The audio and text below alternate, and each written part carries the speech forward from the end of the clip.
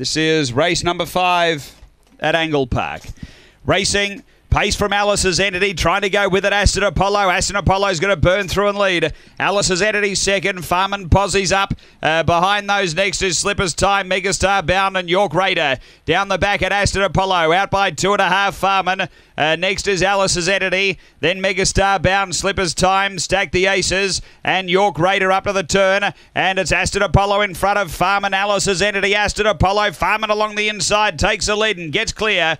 Farman first, second Alice's entity, third Aston Apollo, uh, then Megastar bound. Behind those came Stack the Aces, Slippers Time, and York Raider. Uh, the time is 29.95.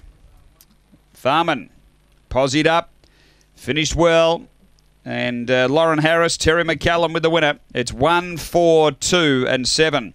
Three from three for Farman. Uh, White and Brindle Dog, April 2015. DJ's Octane, Kiara Angel. Number one, second to four, Alice's Entity, Tony Rasmussen. A Black Bitch, August 2014, Fabregas Girl Aloud. And two, Aston Apollo, Troy Murray. A uh, Black Dog, April 2015, Barcia Bale. Aston. It's 1427 after race number five at Angle Park.